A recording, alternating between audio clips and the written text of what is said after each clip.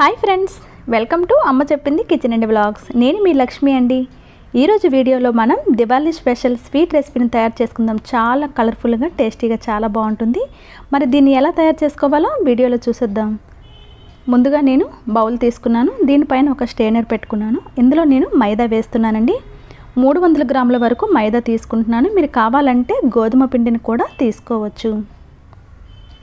ఇప్పుడు మైదా వేసుకున్నాం కదా ఇందులో చిటికడంతా ఉప్పు వేసుకుందాం. అలాగే ఒక హాఫ్ టీ స్పూన్ వరకు బేకింగ్ సోడా వేస్తున్నానండి మరీ ఎక్కువగా వేసేయకూడదు. ఇప్పుడు ఈ స్టెయినర్తో పిండినంతా కూడా బాగా ఇలా జల్లించుకుందామండి. ఇప్పుడు ఇందులో మూడు స్పూన్ల వరకు నెయ్యి వేస్తున్నాను కొంచెం పెద్ద స్పూన్ తీసుకున్నాను దీంతో మూడు స్పూన్ల వరకు నెయ్యి వేస్తున్నాను. ఇప్పుడు నెయ్యి అంతా కూడా బాగా కలిసేటట్టు చేత్తో బాగా రఫ్ చేస్తూ పిండిని బాగా కలుపుకోవాలండి. చూసారు కదా బాగా కలిసింది. పిండిని ఈ విధంగా పిడికి పట్టి చూస్తే ఇలా ముద్దలా కావాలండి ఒకవేళ ఇలా అవ్వకపోతే మరికొంచెం నెయ్యి వేసి బాగా కలపండి. ఇప్పుడు కొంచెం కొంచెంగా వాటర్ వేసుకుంటూ మనం పిండిని దగ్గరికి ముద్దలాగా కలుపుకుందాం. చూసారు కదా పిండి ముద్ద ఈ విధంగా ఉండాలి. బాగా గట్టిగా ఉండకూడదు అలాగని బాగా లూజ్గా ఉండకూడదు. ఈ విధంగా కలుపుకోవాలి. ఇప్పుడు ఈ పిండిని మూడు భాగాలుగా చేసుకుందామండి. ఇలా నేను మూడు ముద్దలుగా చేశాను. ఒక ముద్ద కొంచెం పెద్దది రెండు ముద్దలు ఈక్వల్గా తీసుకున్నాను.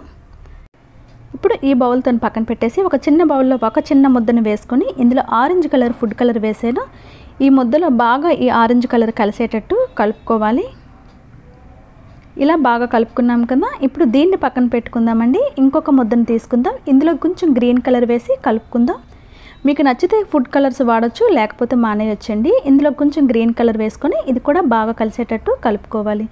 ఇప్పుడు మనకి గ్రీన్ ఆరెంజ్ రెండు కలర్స్ రెడీ అయిపోయి ఈ రెండింటికన్నా వైట్ ముద్ద కొంచెం పెద్దది ఉంది. ఇప్పుడు ఇలా మూత పెట్టి మనం కొంచెం సేపు దానికి రెస్ట్ ఇద్దామండి. మిగతా ప్రాసెస్ చేసేసుకుందాము. ఇందులో వన్ స్పూన్ వరకు మైదా వేసాను. కొంచెం నీళ్ళు వేసి మనం ఈ విధంగా తయారు చేసుకొని పక్కన పెట్టుకోవాలి. వన్ స్పూన్ మైదాలోని కొంచెం నీళ్ళు వేసి ఆ విధంగా కలిపాను.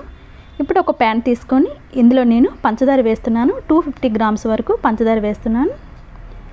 ఇందులో ఒక వన్ కప్ వరకు వాటర్ వేసుకుందామండి. ఇప్పుడు దీన్ని స్టవ్ పైన పెట్టాను. ఇప్పుడు మనం దీన్ని మరిగించుకుందాం కలుపుతూ. మనకి పంచదార బాగా బబుల్స్ వస్తూ మరగడం స్టార్ట్ అయినప్పుడు మనం దీన్ని ఒకసారి చెక్ చేసుకుందామండి.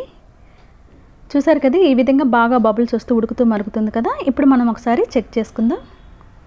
రెండు వేళ్ళతో ఇలా కాస్త రెండు వేళ్ళ మధ్యలో ఇలా అంటించి ఈ విధంగా చూస్తే మనకి ఏళ్ళకి ఇలా చిప్చిపా అంటుకుంటూ ఇలా చిన్న తీగలాగా అంటుకుంటుంది కదా ఇలా ఉంటే సరిపోతుంది. ఇప్పుడు మనం స్టవ్ ఆఫ్ చేసుకొని పాకం పక్కన పెట్టి మూత పెట్టేసుకుందాం. ఇప్పుడు నేను రెండు పూరీలు తయారు చేశాను. ఒక వైట్ పూరి ఒక ఆరెంజ్ పూరి తయారు చేశాను. ఆరెంజ్ కలర్ వైట్ కన్నా చిన్నది ఉండాలి. చూసారు కదా ఈ విధంగా. ఇప్పుడు మనం ఒకసారి రోలింగ్ పిండితో ఈ విధంగా గట్టిగా అడుస్తూ కాదండి లైట్ లైట్గా చేస్తూ ఈ విధంగా చేసుకోవాలి. పిండి ఏమి జలనవసరం లేదండి. మనం ఇందులో నెయ్యి వేసాం కాబట్టి అతుక్కోదు. ఇప్పుడు మనం దీన్ని ఇలా మధ్యకి కట్ చేసుకుందాం. మళ్ళీ ఇప్పుడు దీన్ని ఈ విధంగా మళ్ళీ అడ్డగా ఈ విధంగా కట్ చేసుకుందాం. నాలుగు పీసులు అయ్యాయి కదా. ఇప్పుడు మనం ఈ నాలుగు పీసులని కూడా మనం డిజైన్ ఏ విధంగా తయారు చేసుకోవాలో చూసేద్దాం. ఈ విధంగా ఇలా ఫోల్డ్ చేసుకోవాలి. మరియు కంప్లీట్గా దాన్ని చివరనేది మూసేయకూడదు. ఒకసారి దగ్గర నుంచి చూడండి ఈ విధంగా.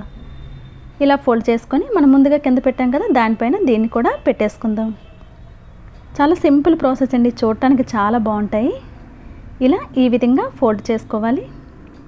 దానిపైన ఇది కూడా పెట్టేసుకుందాం. ఇది కూడా సేమ్ అదే విధంగా ఫోల్డ్ చేసి దానిపైన పెట్టేసుకుందాం. మొత్తం నాలుగు పీసులు కదా ఇవి. ఈ విధంగా. ఇప్పుడు నాలుగుని ఇలా చేతిలోకి తీసుకున్నాను చూసారా? ఈ విధంగా ఉన్నాయి. ఇప్పుడు మనం వీటికి ఈ సైడు ఈ సైడు రెండు సైడ్లు కూడా ఇలా చేత్తో అన్ని ఎడ్జెస్ కూడా ఇలా కలిసేటట్టు ఈ విధంగా చేత్తో నొక్కుకోవాలి. ఇవన్నీ కూడా అతుక్కుపోతాయి. ఇప్పుడు దీన్ని మధ్యకి ఈ విధంగా చాక్తో కట్ చేసుకోవాలండి. ఇవి రెండు పీసులు అయిపోయాయి కదా ఇప్పుడు మనం దీన్ని ఈ విధంగా ఇలా పెట్టుకొని అతికించుకోవాలి. మనం ముందుగా మైదా మైదా కలిపి పెట్టుకున్నాం కదా కొంచెం నీళ్ళు వేసి దీన్ని కొంచెం చేత్తో ఈ విధంగా ఇక్కడ అంటించుకుంటూ దీన్ని ఇలా కొంచెం నొక్కేస్తే చేత్తో అతుక్కుపోతాయండి. ఈ విధంగా. ఇప్పుడు పై వైపున కూడా కొంచెం ఈ విధంగా ఓపెన్ అయిపోయాయి కదా వీటిని కూడా కొంచెం కొంచెం మైదా అప్లై చేస్తే ఈ విధంగా కొంచెం చేత్తో ప్రెస్ చేస్తే అతుక్కుపోతాయి. చూసారు కదా రెడీ అయిపోయింది. ఎంత బాగుందో కదండి చాలా కలర్ఫుల్గా చాలా టేస్టీగా కూడా ఉంటుంది. ఇప్పుడు ఇంకొకటి చూసేద్దాం. ఇంకోటి గ్రీన్ కలర్ పెద్ద పూరి చేశాను వైట్ కలర్ చిన్న పూరి చేశాను. ఇప్పుడు దీన్ని కూడా సేమ్ మళ్ళీ రోలింగ్ పిన్తో అదే విధంగా చేసుకోవాలి. మన కింద ఉన్న గ్రీన్ కలర్ పూరికి ఇది అతుక్కుపోయినట్టు ఉంటే సరిపోతుంది. ఇప్పుడు మళ్ళీ దీన్ని నాలుగు పీసులుగా సమానంగా కట్ చేసుకుందామండి. ముందు మజ్జిగ తిన్నగా కట్ చేశాను. ఇప్పుడు అడ్డంగా మళ్ళీ ఈ విధంగా కట్ చేసుకుందాం. మళ్ళీ సేమ్ అదే విధంగా ఫోల్డింగ్ ఈ విధంగా చేసుకోవాలి. మళ్ళీ ఇంకొకటి ఈ విధంగా అన్నీ కూడా ఇలా ఒకదాని మీద ఒకటి ఈ విధంగా పెట్టేసుకోవాలి. మీరు ఒక్కసారి ఒకటి ట్రై చేశారంటే మిగతావన్నీ కూడా చాలా ఫాస్ట్గా చేసేస్తారండి. ఇలా ఈ విధంగా. చూసారు కదా ఇవన్నీ ఇలా వచ్చాయి. ఇప్పుడు మనకి సైడ్ ఎడ్జెస్ అన్నీ కూడా ఇలా చేత్తో కొంచెం నొక్కుకుందామండి. ఈ విధంగా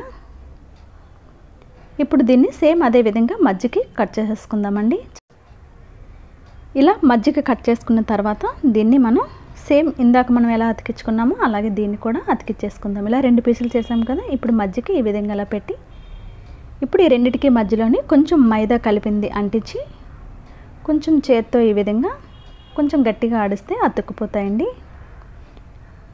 చాలా చాలా బాగున్నాయండి టేస్ట్ కూడా చాలా బాగున్నాయి చూడటానికి కూడా మంచి కలర్ఫుల్గా ఉన్నాయి. ఇలా కొంచెం అంటించడం మాత్రం బాగా అంటించండి. లేకపోతే మనకి ఆయిల్లో డీప్ ఫ్రై చేసేటప్పుడు ఇవి వేడిపోయే ఛాన్సెస్ ఉంటాయి. అందుకని బాగా మైదాని ఈ విధంగా అప్లై చేసి ఇలా మొత్తం అన్నీ కూడా జాగ్రత్తగా అతికించుకోవాలి. మనం ఎన్నైతే చేస్తామో అన్నీ కూడా మొత్తం ఈ విధంగా ప్రిపేర్ చేసేసుకొని పెట్టేసుకున్నామంటే మనకి ఫాస్ట్గా రెడీ అయిపోతాయండి. చూసారు కదా ఎంత బాగున్నాయండి. చాలా చాలా బాగున్నాయి. ఇప్పుడు మనం ఇవన్నీ కూడా రెడీ చేసినవి ఒక పక్కన పెట్టేసుకుందామండి. ఈ దీపావళికి మాత్రం ఈ స్వీట్ రెసిపీని మీరు అస్సలు మిస్ అవ్వద్దండి. చాలా కలర్ఫుల్గా చాలా టేస్టీగా ఉంటాయి. చూసారు కదా ఒకటి సింగిల్ ఇలా ఈ విధంగా పిక్ తీసాను చాలా చాలా బాగున్నాయి. నేను మొత్తం అన్నీ రెడీ చేసి పెట్టేశాను. ఇప్పుడు మనం డీప్ ఫ్రై చేసేసుకుందామండి. స్టవ్ మీద డీప్ ఫ్రైకి ఆయిల్ పెట్టేశాను. ఆయిల్ కూడా బాగా ఓవర్ హీట్ ఉండకూడదు. నార్మల్ హీట్ ఉంటే సరిపోతుంది. ఇలా ఒక్కొక్కటిగా వేసేసుకుందాం ఇప్పుడు కొంచెం వేగిన తర్వాత వీటిని టర్న్ చేయండి. వెంటనే టర్న్ చేయొద్దు. స్టవ్ కొంచెం మీడియం ఫ్లేమ్లో పెట్టుకుంటూనే మనం వీటిని ఫ్రై చేసుకోవాలి. హై ఫ్లేమ్లో పెట్టేసామంటే మనకి ఇవి లోపల పచ్చి పచ్చిగా ఉండిపోతాయి. అంత బాగా వేగవండి. ఇలా రెండు వైపులు టర్న్ చేస్తూ మంచి గోల్డెన్ బ్రౌన్ కలర్ వచ్చేంత వరకు మనం వీటిని వేగించుకోవాలి. మీరు ఈ దీపావళికి ఎన్ని స్వీట్స్ రెసిపీస్ చేసినా కూడా ఈ రెసిపీని అస్సలు మిస్ అవ్వద్దండి. చాలా సింపుల్ ప్రాసెస్ చాలా బాగుంటాయి. మీరు అస్సలు మిస్ అవ్వద్దండి. ఇలా రెండు వైపులు కూడా టర్న్ చేస్తూ మంచి గోల్డెన్ బ్రౌన్ వచ్చేంత వరకు మనం వీటిని వేగించుకున్నాం కదా ఇప్పుడు మనం వీటిని తీసేసుకుందాం. ఈ విధంగా వేగితే సరిపోతుంది. ఇప్పుడు మనం ముందుగా పాకం రెడీ చేసి పెట్టుకున్నాం కదా పాకం గోరువెచ్చగా ఉండాలి. అలాగే ఇవి వేడివేడిగా తీసి పాకంలో వేసుకోవాలండి. మనకి పాకం బాగా వేడిగా ఉంటే ఇవి గోరువెచ్చగా ఉన్న వేయాలి. పాకం గోరువెచ్చగా ఉంటే మనం ఈ వేగించినవి వేడిగా ఉన్న వేస్తే అప్పుడే పాకం అనేది బాగా అబ్జర్వ్ చేసుకుంటాయి. ఇలా పాకంలో వేసిన తర్వాత రెండు వైపులు టర్న్ చేస్తూ ఒక టెన్ మినిట్స్ ఇందులో ఉంచిన తర్వాత మనం వీటిని వేరొక ప్లేట్లోకి తీసుకోవాలి. చూసారు కదా చాలా తక్కువ టైంలో ఈ దీపావళికి మంచి కలర్ఫుల్ అయిన స్వీట్ రెసిపీని ఎలా తయారు చేసుకోవాలో? ఇప్పుడు ఇవన్నీ కూడా ఒక టెన్ మినిట్స్ అయ్యాయి. ఇప్పుడు మనం వీటిని ఒక ప్లేట్లోకి తీసేసుకుందాం. మనం ఎన్నైతే ప్రిపేర్ చేస్తామో అన్నీ కూడా చేసి పక్కన పెట్టేసుకున్నామంటే ఆయిల్లో డీప్ ఫ్రై చేసి ఇలా పాకంలో వేసేసుకోవచ్చు. మనం వీటిలో కొంచెం పాటించవలసింది ఏమి అంటే మనం కట్ చేసిన తర్వాత వాటిని అతికించేటప్పుడు మైదా అనేది బాగా అంటించి అతికించామంటే ఇవి బాగా అతుక్కుంటాయి. ఆయిల్లో ఫ్రై చేసినా కూడా ఓపెన్ కావండి. చూసారు కదా ఈ విధంగా వస్తాయి. ఇప్పుడు నేను మిగతావన్నీ కూడా ఇదే విధంగా వేగించేస్తానండి. చూసారు కదా చాలా సింపుల్ రెసిపీ. ఈ దీపావళికి మీరు ట్రై చేసి మీకు ఎలా వచ్చిందో నా కామెంట్ సెక్షన్లో చెప్పేయండి. ఈ వీడియో మీకు నచ్చినట్లయితే లైక్ చేసి మీ ఫ్రెండ్స్ అండ్ ఫ్యామిలీ మెంబర్స్కి షేర్ చేయండి. మన ఛానల్ ఫస్ట్ టైం చూస్తున్నట్టయితే సబ్స్క్రైబ్ చేసుకోవడం మాత్రం మర్చిపోవద్దండి. మరొక ఇంట్రెస్టింగ్ అయిన వీడియోతో మళ్ళీ కలుద్దాం. అంతవరకు take care and bye bye